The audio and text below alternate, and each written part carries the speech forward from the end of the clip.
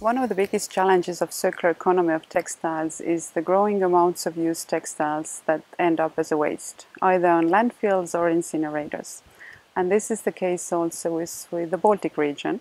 So this project was um, born to um, advance the field with documented data on the post-consumer textile waste flows and to better understand what are the current practices and challenges of textile reuse and recycling in the Baltic region. The project also brought together stakeholders in Estonia, Latvia and Lithuania on the topic and kickstarted a dialogue across the sector within the region and with Nordic countries. Since the Baltic region is a big importer of Nordic used textiles, it was a very logical to develop this project together with Nordic expertise.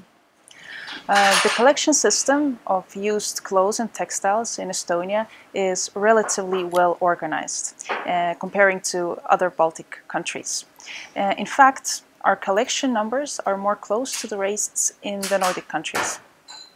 Uh, but still, around half of collected items are treated as wastes and uh, therefore it is crucial that we start investing and developing new recycling technologies. And we should do it together with other Baltic states and also make use of the knowledge and experience from the Nordic countries.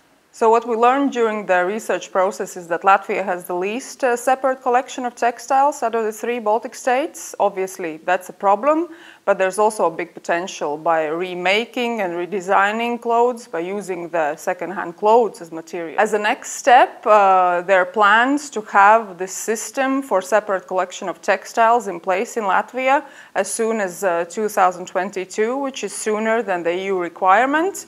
And that is thanks to one local waste management company that has done a pilot project on this and is now starting to move forward to put the system in place.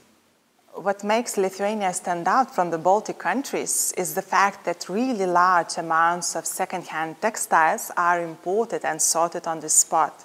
And today Lithuania is country number one in Europe regarding imports of used textile per capita. Today, our municipalities, regional waste management centers, public and private companies are actively starting the development of used textile collection and various reuse schemes.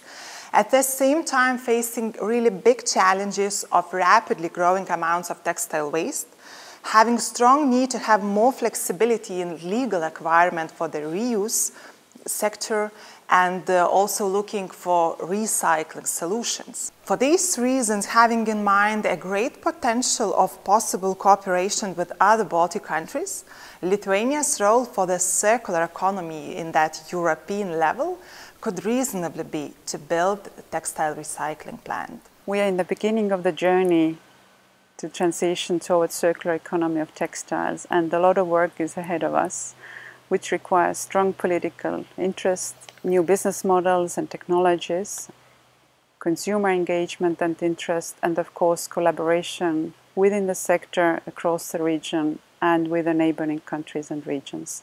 There are great opportunities, strategic Nordic-Baltic collaboration in building bridge with the Nordic technology advancements and innovations within textile circularity and the Baltic region's capacity in sorting, production capacity and the strong culture of reuse and uh, repair.